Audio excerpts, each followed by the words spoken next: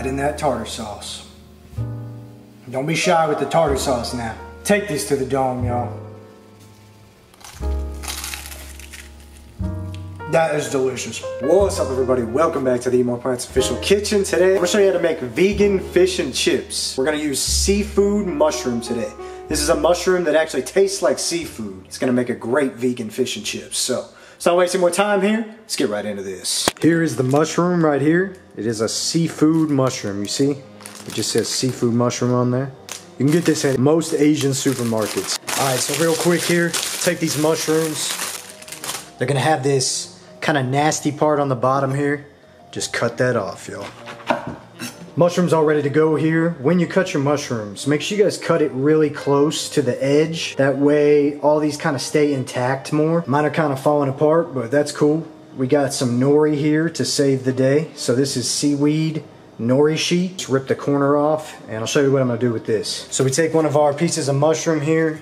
We're just gonna put it in this nori sheet. All right and just kind of roll it up. And I would use one whole nori sheet per piece. You're just gonna wet this side here. So this sticks. there you have it, y'all. This is your vegan fish right here, man. Looks kind of weird, but it's gonna taste good. Let's get right into it. All right, let's make a quick and easy vegan beer batter. So right here, I got some pastry flour. I'm gonna use this today because this one is a little bit lower protein content. It's gonna give you a nice light, crispy batter compared to the all-purpose flour, but you guys can use either one. So we got two cups of flour in there, going in with Stella Artois. I think that's how you say it, Artois. I love this beer, it's delicious. Let's go right in with this. Whisk this in here. Also going in with some Lawry's seasoning here. You guys could just use regular salt, you can use seasoning salt, or you guys could do some Old Bay. I know a lot of people like Old Bay. And that's it. Your quick, easy, vegan beer batter. Let's make some fish and chips, y'all. Got some oil heating up right here, real quick. Get you a sip of this. Stella Artois, y'all. Take this to the dome. Our oil's heated up here. It's at about 385 degrees right here. We got our vegan fish. Going right in our batter with this. Give it a good dunk here. Make sure y'all shake off the excess batter. Shake it. Then go right into our oil with it, y'all. All right, once your fish or your vegan fish is nice and golden brown, we're just gonna remove this from the oil.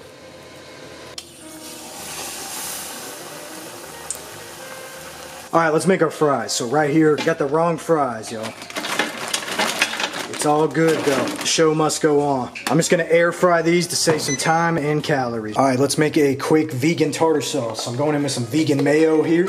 Going in with some fresh dill here. Some lemon, no seeds. Some capers going in. Dill pickle going in here. Dijon mustard. Going in with some pepper here. We're gonna skip on the salt because we can always taste and adjust after. Blend this.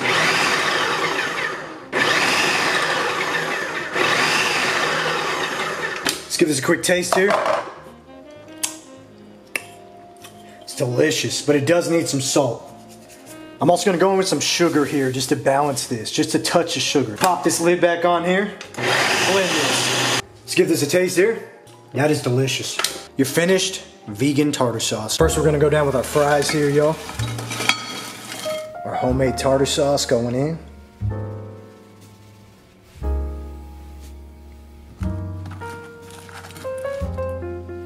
Some lemon, some dill. There you have it, y'all. You're finished. Restaurant style vegan fish and chips. Looks amazing. Get you a bite of this. Let's eat. Let's get this started. Got a Stella right here. Let's pop the top on this. Take one of these lemons here. Squeeze it right in there. Also, Get some on the fish there, the vegan fish. Get you a sip of this. If you're over the age of 21, get you a sip of this. If you're under the age of 21, get you a sip of this water here. Take this to the dome, y'all.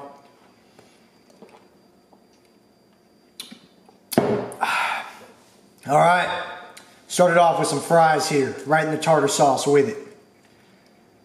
Get you a bite of this. Mmm. That tartar sauce is amazing. It's perfect. Mmm. It is delicious. I'll make that again for sure. I got the wrong fries, guys. Fish and chips are supposed to have some thick cut fries.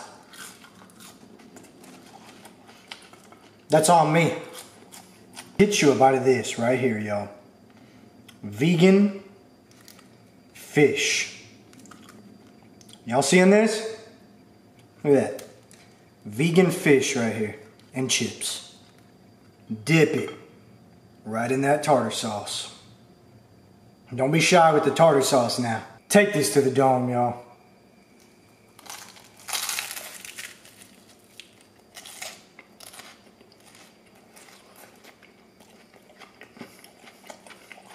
That is delicious. Wow. That is amazing, y'all. Another bite of this.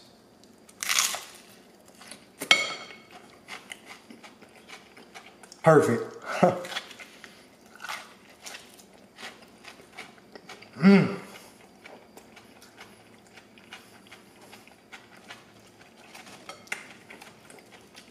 That seaweed, kind of fishy flavor.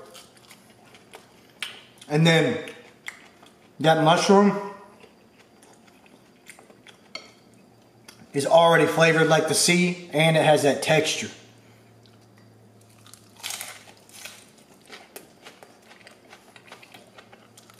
Try this. Trust me.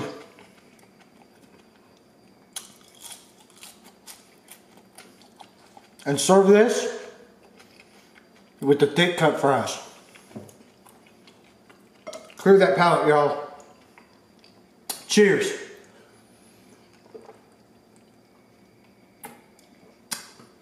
Ah, oh yes. Another one here, y'all. Take this to the dome. Mmm.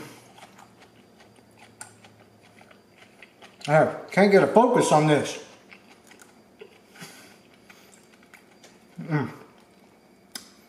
Yeah, I'm really glad I, I wrapped these with the nori.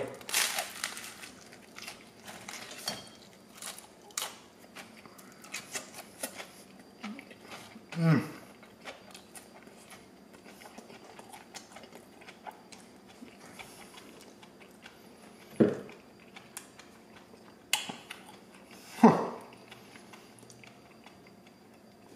You could serve this at a restaurant. For sure.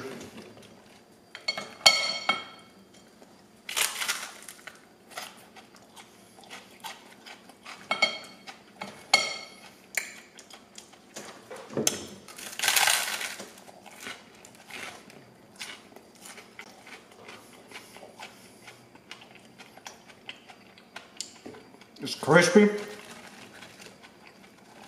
Excellent texture inside and outside. The, the batter is like so easy to make. Three ingredient. Last bite here, y'all. Incredible. That's it. Let me know what you want to see me cook next down in the comments. Smash that like button. Smash that red subscribe button. Share this video with someone who should eat more plants. I'll see you guys next time. Eat more plants, y'all.